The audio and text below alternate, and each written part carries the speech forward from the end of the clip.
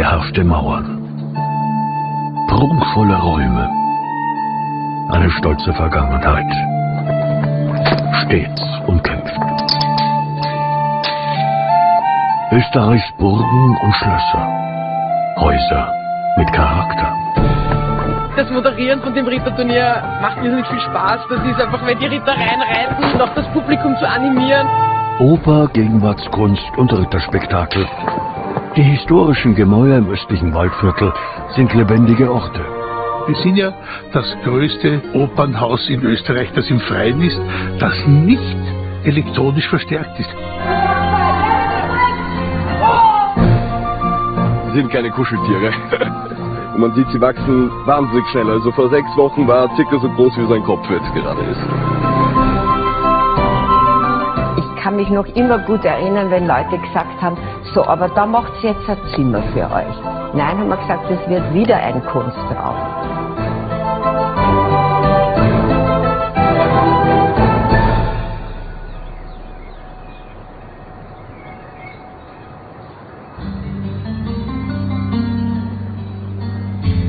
In zahlreichen Windungen schlängelt sich der Kamp durch den Südosten des Waldviertels.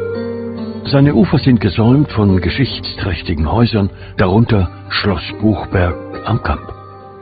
Bewohnt wird es vom Ehepaar Gertraud und Dieter Bogner, das hier einen Ort der Kunst geschaffen hat.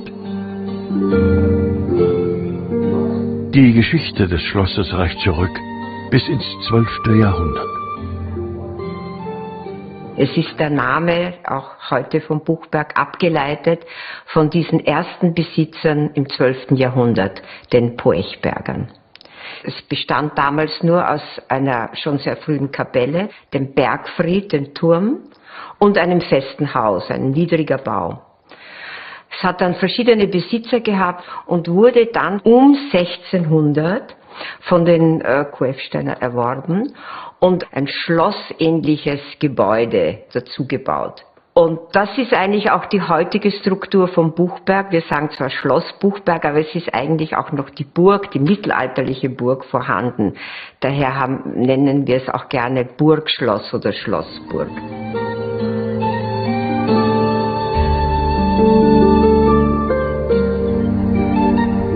1964, 65 ähm, wurde es verkauft. Es war nicht das Schloss allein zu erwerben, sondern es musste Gut Buchberg gekauft werden. Und mein Schwiegervater Fritz Bogner, äh, ein Edelstahlhandelskaufmann, wollte eigentlich nur den Wald kaufen und musste aber Gut Buchberg mit dem Schloss sozusagen miterwerben. Und so kam es 1965 in den Besitz der Familie Bogner. Anfänglich wussten die Bogners nicht, wofür man das damals weitgehend verfallene Gebäude nutzen sollte. Und dann irgendwie in so einer Gesprächsrunde war die Idee, ihr habt doch so ein großes Schloss, dort könnte man nicht einmal so ein Künstlertreffen, ein Zusammenkommen äh, veranstalten. Und 1979 haben wir hier die erste Veranstaltung gemacht, improvisiert einen sogenannten Workshop, wo wir eben auch ein Symposium gemacht haben, wo wir über Theorie gesprochen haben und Praxis und die Künstler eingeladen haben, hier zu arbeiten. Und das war so der Beginn. Auch die Künstler waren begeistert, obwohl es sehr improvisiert war, dass wir gesagt haben, das könnte nun eine Funktion für das Haus sein. Nach und nach hat das Ehepaar Bogner Künstler auch eingeladen, ganze Räume zu gestalten und Kunstwerke eigens für bestimmte Räume zu schaffen.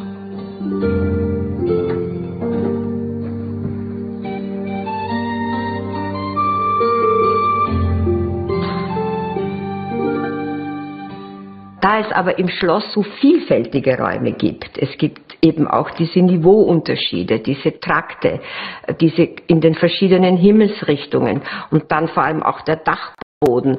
Also war das diese Idee oder dieses Konzept der permanenten site-specific, also ortsbezogenen Rauminstallationen oder auch Rauminterventionen für uns ein Konzept, das, das ging langsam auf und wir sind eigentlich bis heute überzeugt, dass das eine gute Idee war, weil ich, ich kann mich noch immer gut erinnern, wenn Leute gesagt haben, so, aber da macht jetzt ein Zimmer für euch.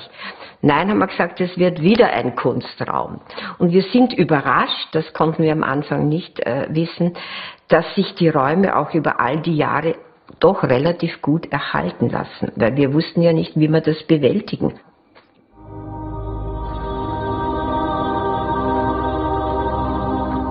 Längst werden auch die Außenräume für Gegenwartskunst genutzt. Inmitten eines ehemaligen Ziergartens stößt man auf eine Arbeit von Dan Graham.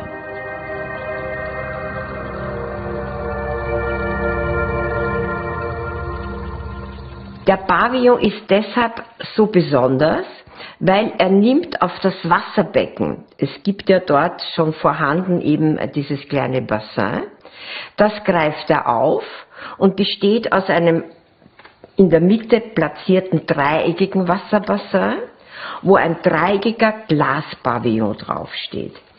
Und diese Spiegelglaspavillon äh, sind eben das Besondere bei Dan Graham, weil er arbeitet damit, man spiegelt sich und man sieht durch. Und man wird dann etwas irritiert. Bin ich das jetzt oder man sieht sich auch mehrmals gespiegelt durch die dreieckige Form. Und das ist eben dieses Spiel mit der Wirklichkeit. Ist es mein Spiegelbild? Bin ich das selber?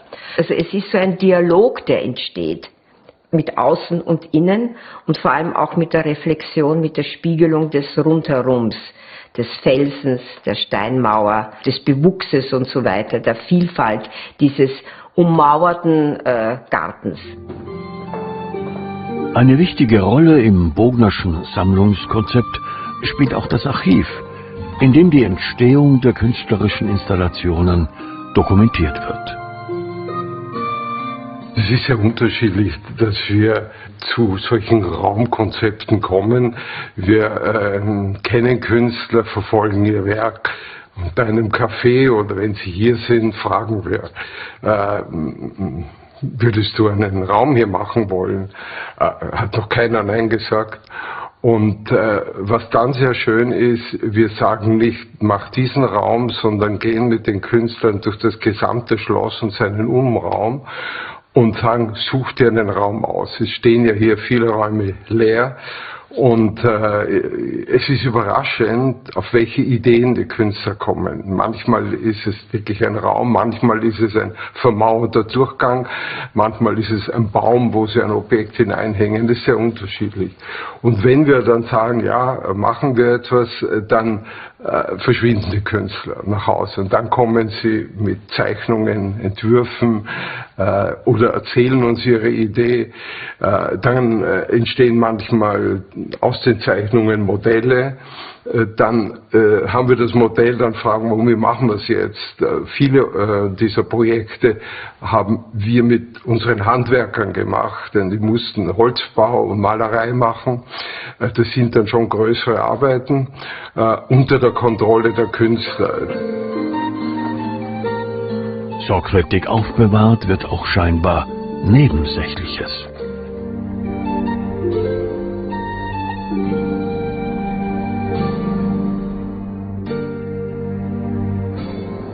Für uns ist seit äh, Jahrzehnten wichtig, dass wir die Materialien, die zur Entstehung geführt haben, komplett gesammelt haben, möglichst komplett. Aber das sind jetzt nicht nur diese schönen Modelle, sondern das sind Rechnungen, Lieferrechnungen. Warum? Äh, eine Rechnung hat ein Datum, da weiß man, hier wurde das und das geliefert. Das ist wissenschaftlich oft sehr wichtig, weil man nicht weiß, war in welchem Jahr, welchen Monat das war ich denke, jetzt 30 Jahre oder 50 Jahre voraus, wo das Archiv hoffentlich noch besteht. Auch der weitläufige Dachboden wird mit Kunst bespielt. Wir sind hier im Dachbodenraum mit einer Installation von Stanislav Kolibal, Fundort Dachboden. Als er uns besucht hat in den 90er Jahren, sind wir mit ihm durch das Haus gegangen haben uns angeschaut. Es gab damals noch viele leere Räume. Und zuletzt sind wir auch hier heraufgekommen zum Dachboden, wo wir an, an sich nicht daran dachten, eine Arbeit, eine künstlerische Arbeit einzurichten. Und er kommt in diesen Rundtrakt mit diesem Gebälk, Gebälk und sagt, das ist es. Hier will ich etwas machen. Er hat hier eine Grundstruktur vorgefunden, eben diesen Kreis, diese runde Form mit Elementen, vertikalen, die da durchgehen. Es sind diese Schließen und einige äh, diagonale und einige vertikale, eben der Kamin und die Stützen sind da. Und auf dieser Grundform hat er seine Form darüber gebaut. Drum ist ja die Arbeit nicht loszulösen vom Gebäude, weil man die schließen und den Kamin nicht mitnehmen kann. Und das ist charakteristisch für Buchberg, dass es Arbeiten sind, die so mit dem Gebäude ver, äh, verbunden sind, dass man sie nur durch Zerstörung entfernen kann. Wenn man sie wegnimmt, sind sie kaputt. Und das ist sehr selten. Und das ist aber die Chance in so einem historischen Gebäude. Einen freien Platz für weitere Arbeiten zu finden, wird für die Künstler nicht leichter, denn inzwischen sind es schon über 30 permanente Rauminstallationen. Doch ans Aufhören denkt das Ehepaar Bogner nicht.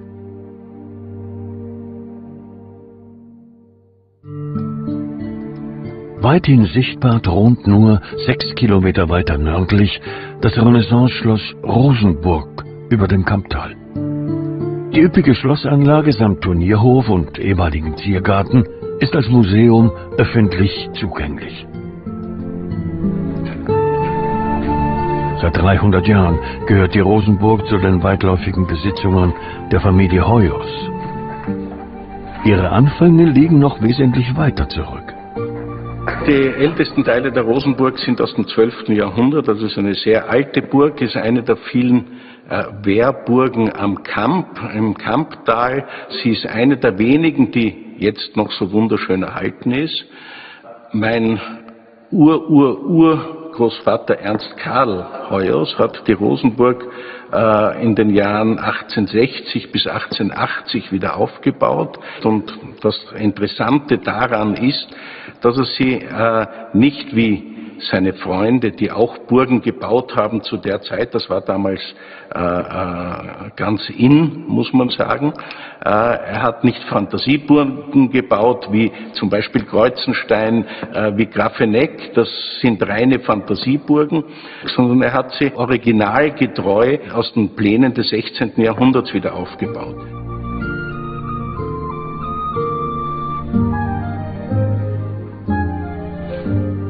Zum Einzug in die Burg kam es jedoch nicht.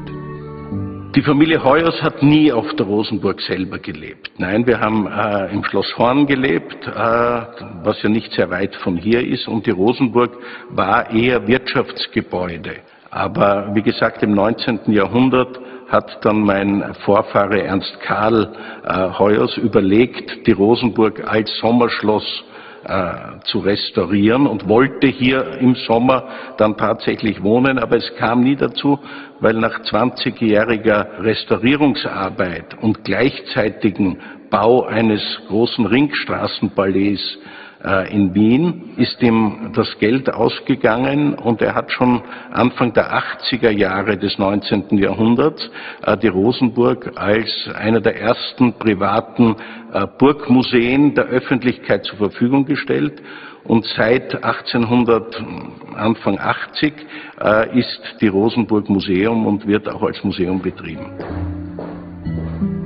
Der Großteil der Innenräume beherbergt Schausammlungen darunter auch eine Waffenkammer.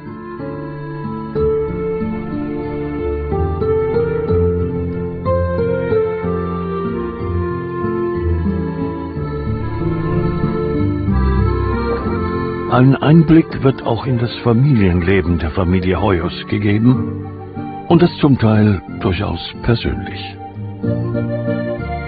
Das ist ein, ein, ein, ein Porträtbild, Familienporträtbild von, vom berühmten Künstler Erwin Wurm, der ein sehr, sehr guter Freund unserer Familie ist. Und genauso wie früher die Leute sich von den besten Künstlern haben malerisch porträtieren lassen, so haben wir uns halt von dem jetzigen besten österreichischen Künstler porträtieren lassen als Foto. Und ich glaube, also mir gefällt es besonders gut und, und ich finde es großartig, wie es da hängt. Der Name Rosenburg leitet sich von ihren ersten urkundlich erwähnten Besitzern ab, dem Geschlecht der Rosenbergs. Doch der Name ist auch Programm. Auf der Rosenburg gibt es gleich mehrere Rosengärten. Zum Beispiel den vom englischen Gartenarchitekten David Austin gestalteten Schaugarten im Burggraben. Betreut wird er von der Gärtnerin Iris Hartl. Es ist der ideale Standpunkt für die Rose hier, weil es schön sonnig ist und die Rose ein Tiefwurzler ist und noch aus dem tiefsten Boden Wasser sich holen kann. Und der Name schon von Vorbesitzer von Rosenberg passt halt die Rose hier wunderbar her.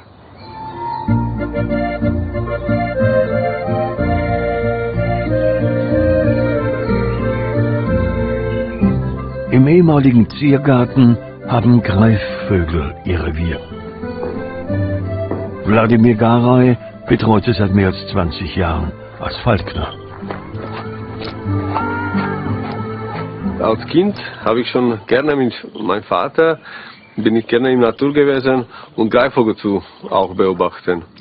Mir hat das nicht gereicht. Ich wollte näher sein, öfter die Jagdflüge beobachten, öfter den Näherflug von Greifvögeln sehen.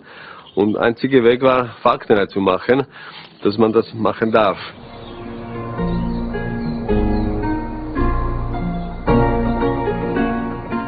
Insgesamt 40 Greifvögel leben auf der Rosenburg. Darunter auch heute selten gewordene Jagdfalken.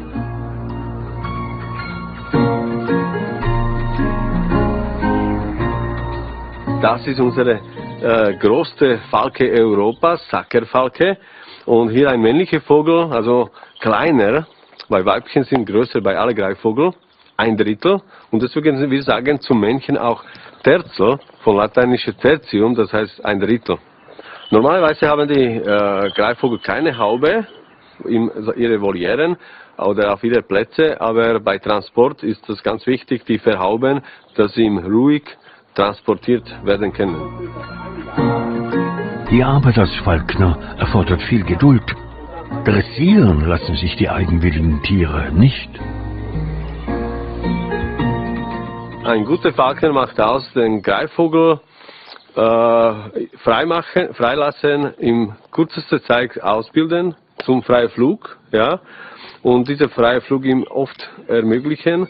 Und natürlich, dass der Greifvogel macht nicht, was unbedingt er will, also ihn kann man nicht so äh, unterordnen wie Hund, sondern ich weiß schon, ich kenne ihn so gut, durch diese Ausbildungszeit, durch diese Beziehung, was haben wir aufgebaut, kenne ich ihn so gut, dass ich kann nicht schon voraussagen, was macht er heute in dieser Kondition.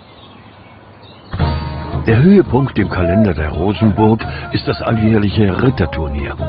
An zwei Wochenenden wird der größte noch erhaltene Turnierhof Europas mit hochkarätigen Showeinlagen bespielt.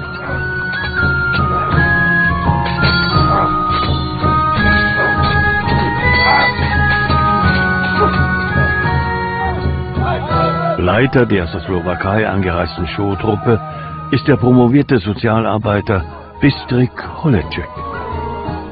In Stuntman wurde ich äh, als 15 Jahre habe ich angefangen mit dem Schwertkampf und dann äh, nacheinander haben wir einfach äh, versucht, das beruflich zu machen und, und trainiert, dann Stuntman-Ausbildung gemacht, dann bei ein paar Films äh, mitgemacht, Shows mitgemacht und dann ging es und jetzt machen wir das schon 10 Jahre lang.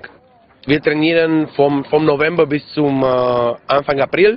Das ist die Trainingszeit. Das heißt, wir haben zweimal, dreimal die Woche Schwertkampftraining und zweimal die Woche äh, Training mit dem Pferd. Und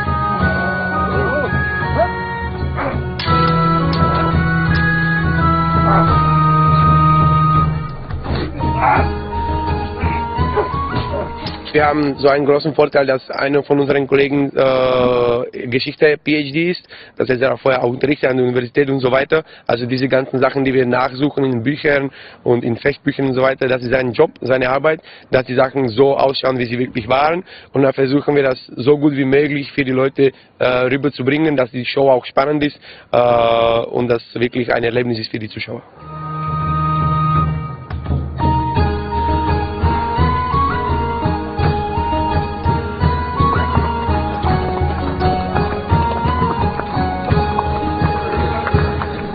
In ihrer Funktion als Kastellanin koordiniert Elisa Helm das Treiben auf der Burg. Also ich bin ja die Kastellanin auf der Rosenburg und schaue halt, dass hier dieses mittelalterliche Flair und Feeling auf der Rosenburg wirklich durchkommt. Bei, den, bei dem Ritterturnier natürlich, was ganz speziell ist hier jedes Jahr, wo eben die Ritter geladen werden und dann eben auch ein spannendes Turnier hier ähm, organisiert sein soll und eben vorgeführt werden soll, wo es um die Hand der Prinzessin meistens geht dann werden wir den ersten Ritter begrüßen. Einen großen Applaus für Heinrich von Wittgenstein!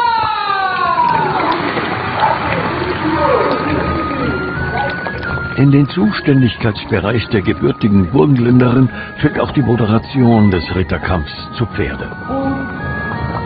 Das Moderieren von dem Ritterturnier macht nicht viel Spaß. Das ist einfach, wenn die Ritter reinreiten und, und die anzukündigen und auch das Publikum zu animieren und einfach ein bisschen Stimmung zu machen. Das ist einfach irrsinnig lustig auch und eben dadurch, dass man nicht genau weiß, wie die Disziplinen und die Kämpfe ausgehen, passiert einmal das. Manchmal passiert es auch, dass dann eben nichts getroffen wird, dann muss man eben was anderes dazu machen und dann eben auch, wenn man dann ein bisschen mit den Rittern interagieren kann und sprechen kann und dann auch der eine oder andere Witz eben gemacht wird und wenn man da aufeinander ein bisschen eingeht, glaube ich, ist das auch fürs Publikum ganz unterhaltsam und uns macht es auch irrsinnig Spaß, das zu machen.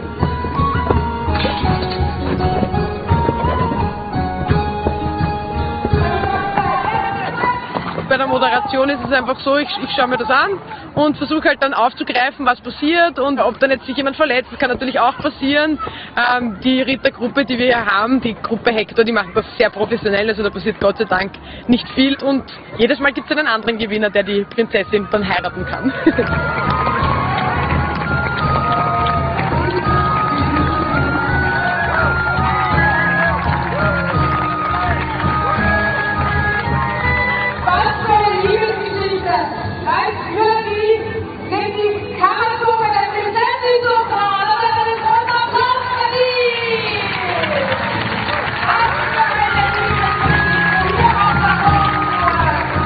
Höhepunkt des Programms der Stuntgruppe um Bistrik Holecek ist der Zweikampf mit der Lanze.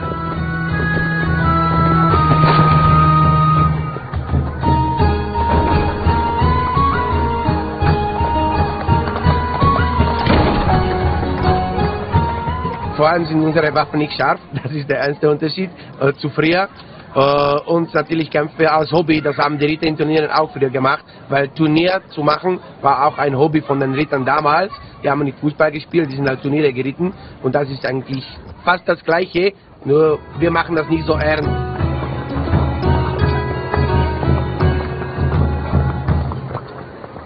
Nur fünf Kilometer entfernt, inmitten der Altstadt von Horn, befindet sich das Wohnschloss der Familie Hoyos. An die Anfänge im Mittelalter erinnert heute nur noch der 30 Meter hohe Turm. Für Markus Hoyos und seinen Sohn Heinrich ist der Salon das Herzstück des Schlosses. Wir sind jetzt im Schloss Horn, im Salon des Schlosses Horn. Das ist einer der großen äh, Repräsentationsräume. Äh, hier, wenn Gäste eingeladen sind, sind die ganzen Veranstaltungen finden hier statt. Es gibt daneben äh, noch drei große Speiszimmer. Äh, wir tun sehr oft auch Abendessen mit gesetzten äh, Plasmon machen mit 60, 70 Leuten. Das geht in diesen drei Speiszimmern ganz leicht. Verewigt hat sich die Familie im Porträtfoto von Erwin Wurm. Das hat er genau hier gemacht. Äh, drei meiner Kinder sind da oben gesessen am Kamin und ich bin mit meiner Frau am Tisch gestanden, unsere kleinste Tochter zwischen uns mit angezogenen ja, Schultern. Ein sehr nettes Bild, das hängt jetzt äh, im, im Heuersaal auf der Rosenburg und äh, kommt, glaube ich, bei unseren Besuchern auch sehr gut an.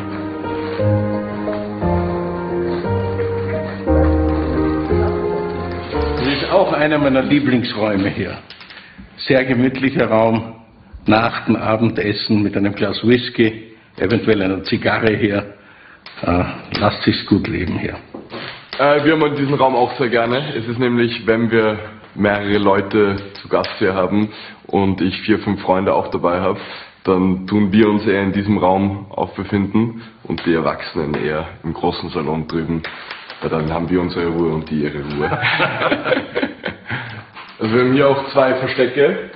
Einmal die Bar und gleich daneben auf der anderen Seite die Gläser und die Zigarren, die sich hier in der Wand befinden. Wenn man einfach nur durch, durchs Zimmer schnell durchgeht, sieht man es nicht. Aber wenn man offensichtlich hinschaut, sieht man die Schlüssel, die sich da in der Wand befinden. Und man muss sie nur aufmachen und dahinter gibt es dann ein kleines Versteck. Zum Schloss gehört auch eine große Parkanlage.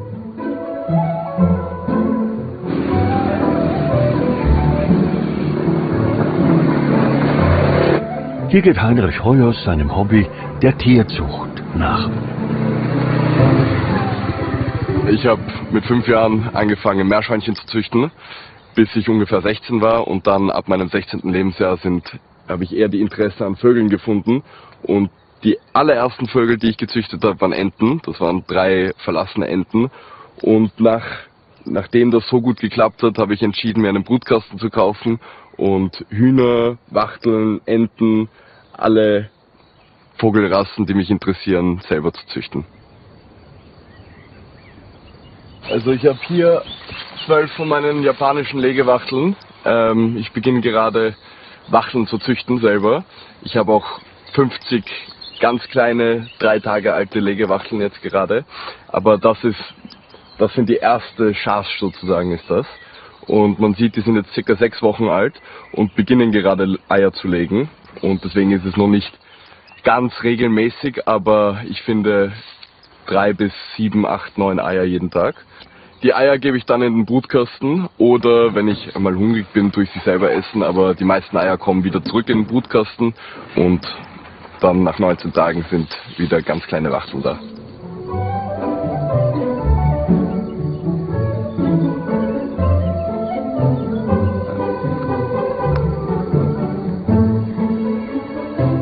Da sieht man jetzt ein Männchen.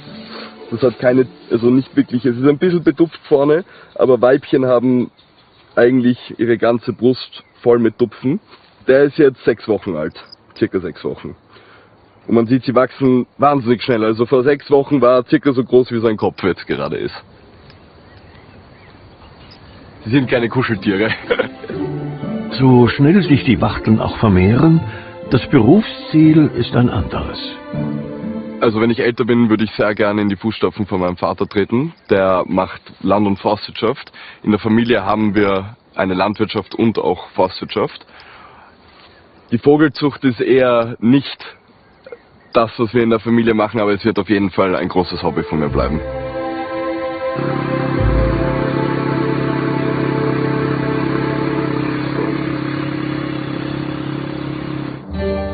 Auf einem steilen Felsrücken über dem Kamptal erhebt sich die Burgruine Gars am Kamp.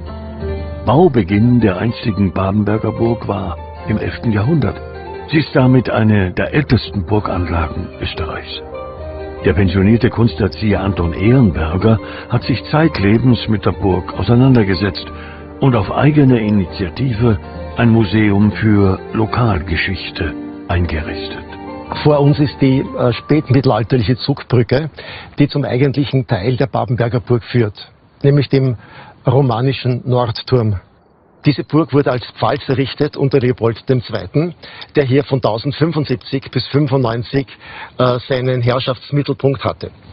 Nach ihm kamen die äh, Kulmringe, die Maisauer und sehr viele, sehr viele andere Burgbesitzer, die zum Teil als Lehen äh, diese Burg bekommen haben, beziehungsweise als Pfandherrschaft.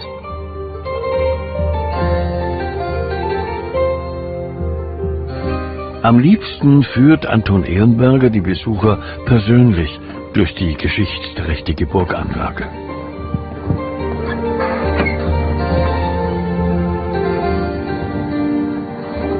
Wir befinden uns auf dem höchsten Punkt der Burganlage, dem Nordturm. Von hier sehen wir zum Herz der Anlage, zur Babenberger Burg, zum Palas, zum festen Haus aus dem 11. Jahrhundert. Eine vierstöckige Anlage, äh, die bereits unter Leopold II. errichtet wurde, so wie auch dieser Turm hier. Der Verfall der Burg setzte dann zur Zeit der napoleonischen Kriege ein. Das Dach wurde abgetragen, die Dachstau ist allgemein bekannt als, als äh, ruinöse Erfindung für viele Burgen. Die Burg wurde aufgegeben und erst um 1975 zum Teil restauriert. Teile des äh, Renaissance-Schlosses wurden wiederhergestellt, der Keller, das Erdgeschoss, der oberste Stock. Der Turm ist wieder begehbar und als letztes wartet noch die Hochburg ihr, ihre Wiederbelebung.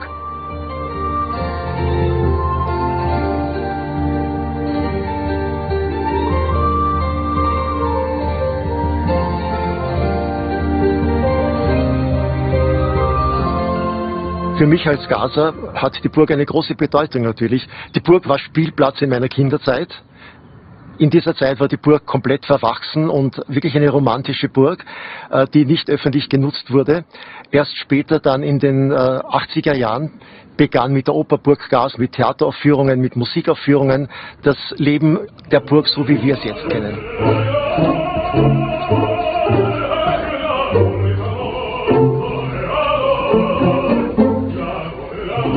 Berühmt ist die Burgruine heute als Open Air Opernhaus. Hochkarätige Produktionen wie Bizets Carmen können hier direkt unter dem nächtlichen Sommerhimmel erlebt werden. Künstlerischer Leiter ist der Dirigent Johannes Wildner. Die Gründung dieser Opernunternehmung geht eigentlich in die 1980 Jahre zurück. Damals war der Wiener Kammersänger Heinz Holecek, der das hier einmal gesehen hat und gesagt hat, hier müsste man eigentlich eine Sommeraktivität machen, Oper spielen, Theater spielen, Konzerte spielen. Und im Jahre 1989 hat dann Karel Drgatsch, mein unmittelbarer Vorgänger, der frühere Operndirektor von Prag, diese Spielstätte übernommen und ich habe ihm 2014 meine erste Produktion gezeigt, Freischütz. Und heuer werden wir hier in dieser Opernarena Carmen zeigen.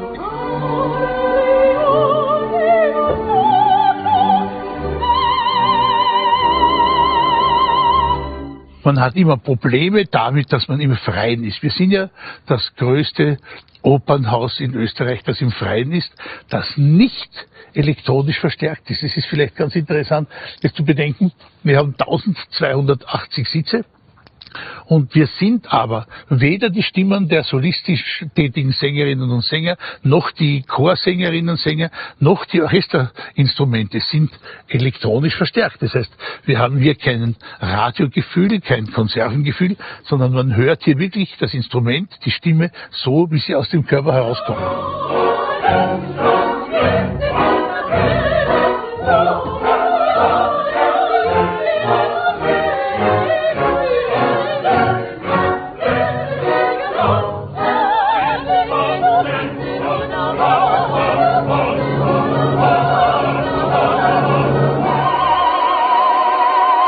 Bin an und für sich Dirigent, war früher Orchestermusiker, bin auch bei den Wiener Philharmonikern mehr oder weniger erzogen worden, habe dann einige Jahre in Deutschland und Italien und England zugebracht als Dirigent, bin 2013, 14 nach Österreich zurückgekommen auf einen Lehrstuhl für Dirigieren an der Wiener Musikuniversität.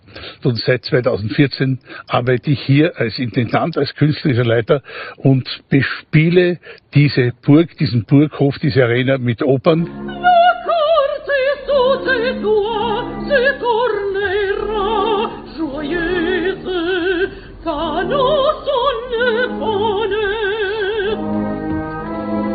Ein besonderes Anliegen sind dem künstlerischen Leiter auch die philosophischen Ideen in den musikalischen Werken. Was ich zeigen möchte in meiner Zeit hier in Gas ist die Sehnsucht des Menschen nach Freiheit, natürlich unter einer besonderen Berücksichtigung der Einflüsse der französischen Revolution auf unsere gesellschaftliche Situation. Also wie ändert sich die Perspektive äh, der Freiheit und des Freiheitswillens, der Sehnsucht in diesem Lichte der französischen Revolution? Wir wissen ja von Hegel, dass es keinen Fortschritt gibt in der menschlichen Gesellschaft, außer dem Fortschritt im Bewusstsein der Freiheit, den der Mensch hat. Und so haben wir also alle Stücke, die wir hier zeigen, so gewählt, dass sie meiner Garser Dramaturgie entsprechen.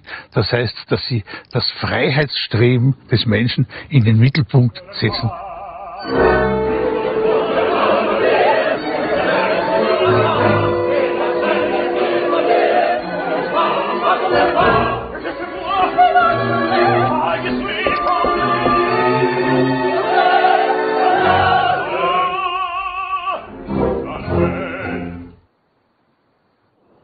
Nebelschwaden liegen über dem Tal, wenn in der von der teuer umschlungenen Ortschaft Rosendorf der Tag heranbricht.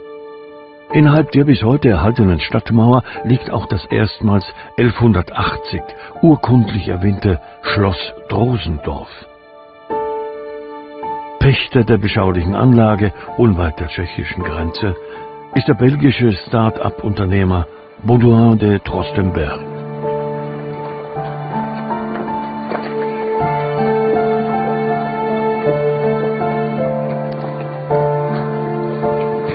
Schloss ist fast in, in, in der Mitte von, von der Stadt. Das heißt, äh, man kann nicht daneben schauen.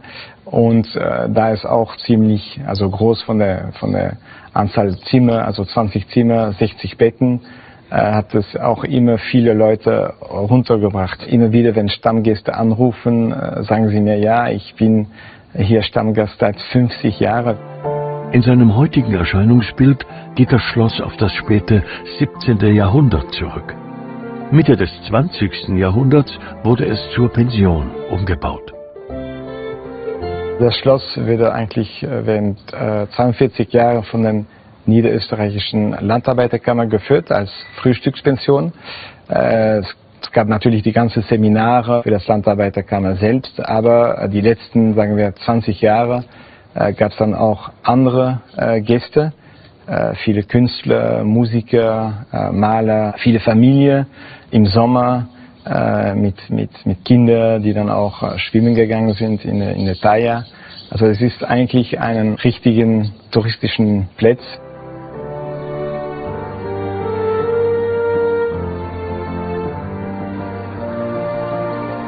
Großen Prunk sucht man hier vergebens. Also man sieht den ganzen äh, Stuckdecke und die Holzvertäfelungen. Also das ist äh, wahrscheinlich mehr charmant als luxuriös, aber das äh, suchen die, die, die Gäste, die hier kommen, suchen genau dieses, diese Charme und diese, diese gemütliche Zimmer, wo man wirklich spürt, dass man, man äh, lebt wie äh, in einem Schloss von, von vor 200 Jahren, würde ich sagen. Und diesen Charme wollen, wollen wir unbedingt behalten.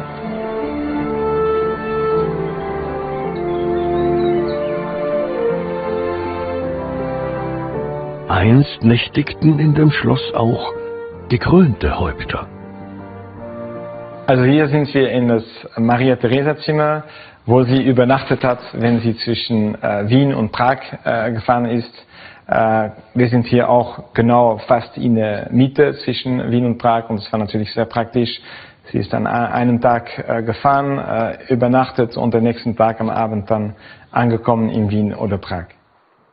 Original in diesem Zimmer ist den Fußboden, den äh, Deckenstück und äh, das Kamin. Und äh, wie Sie sehen, ist alles noch wirklich äh, gut erhalten. Äh, das zeigt auch, wie man guten Materialien damals benutzt hat. Im Zimmer haben wir auch dieses äh, schöne Bild. Das ist nicht Maria Theresa selbst, sondern äh, ihre Mutter. Äh, und man kann sich vorstellen, wie äh, wenn die Maria Theresa hier war, dass ihre Mutter dann auch schon am, am Wand da geschaut hat. Ein dauerhafter Schlossbewohner ist der Maler Peter Laha. Der ehemalige Bühnen- und Kostümbildner kümmert sich heute um die Inneneinrichtung des Schlosses. Ich habe mich die letzten Monate da mit dem Schloss beschäftigen dürfen und mit dem Aufmöbeln der, der Zimmer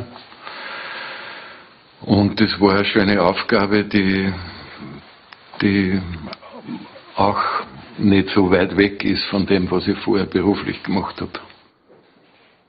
Das ist die Arbeitswand, oder mittlerweile ist sie abgeräumt, die war ja bald voll. Mittlerweile hat sich das, der Dschungel ein bisschen gelichtet. Wir haben dann halt mit Erinnerungszetteln und Post-its gearbeitet und aufgeschrieben, was zu tun ist. Das Tolle am Schloss sind eigentlich die Begegnungen, die da jetzt wieder stattfinden. Also beglückende Anzahl an wunderbaren Begegnungen mit Leuten, die man ja nicht kennt. Ja, aber es ist immer interessant, Leute da durchführen zu dürfen, zu können und äh, mit Leuten ins Gespräch zu kommen. Direkt an seine Wohnung grenzt die Schlosskapelle. Also gab es grundsätzlich noch nie, dass wir Zugang zur Schlosskapelle hatten in keiner Wohnsituation, die es bisher in meinem Leben gab. Das ist ein sehr besonderes Bild, ein barockes Bild, das die explizit schwangere Maria abbildet und darstellt. Ich habe mehrmals gelesen, dass es vereinzelt Bilder dieser Art gibt, aber es ist das einzige Bild, das ich mit eigenen Augen gesehen habe. Und ich finde es bemerkenswert, weil es äh, eine sehr direkte, sehr menschliche Dimension hat. Ebenfalls ein dauerhafter Gast im Schloss ist die Fakultät für Architektur und Raumplanung der Technischen Universität Wien.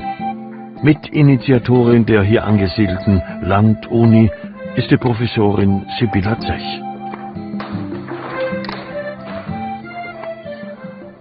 Wir machen hier Lehrveranstaltungen über das Leben, Bauen, Arbeiten im ländlichen Raum. Äh, die aktuell äh, beispielsweise städtebauliche, ortsbauliche Fragen. Die Studierenden entwickeln hier ihre Konzepte, bauen ihre Modelle, äh, diskutieren Zukunftsperspektiven. Das ist für uns ein ganz ein wichtiger Punkt, dass wir Lehrende und Studierende mit der Region, mit der Bevölkerung in der Region zusammenbringen. Und die Leute kommen hier ins Schloss und diskutieren mit oder wir gehen hinaus auf den Marktplatz, stellen unsere Arbeiten vor. Das ist ein bisschen Citizen Science, was wir hier auch machen. Ergeben hat sich die Kooperation mit dem Schloss Drosendorf nicht zuletzt durch einen Zufall.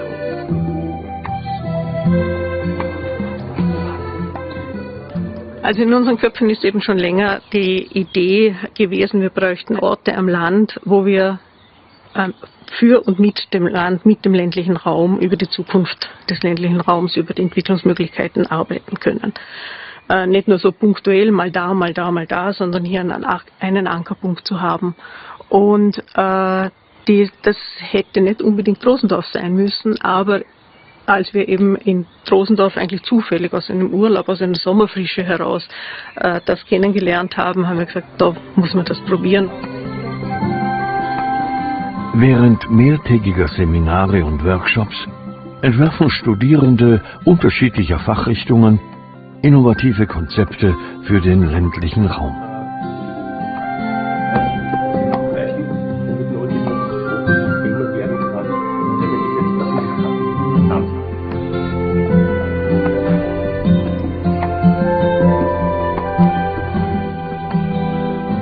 Wir bearbeiten im Moment das Dreisental und sind jetzt hier in Drosendorf ähm, für einen Workshop, so dass wir da unsere Projekte quasi weiterführen und äh, die Möglichkeit haben, mit unseren Professoren und anderen Kolleginnen immer zu kommunizieren, was natürlich in dem Schloss eine ganz tolles, eine tolle Sache ist, weil man einfach die Räumlichkeiten nutzen kann, man kann sie verteilen, man kann sie wieder an einem Punkt treffen.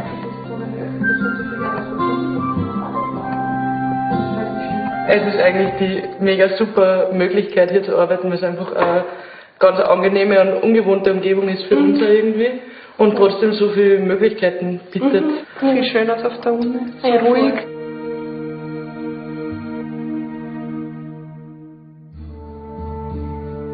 Wenn sich der Tag in Rosendorf langsam dem Ende zuneigt, kehrt sie wieder ein. Die Ruhe, die Studierende und Sommerfrischler gleichermaßen in die beschauliche Ortschaft an der Thaya lockt. Ein weiteres Mal ist es im östlichen Waldviertel gelungen, alter Substanz eine neue Funktion zu geben.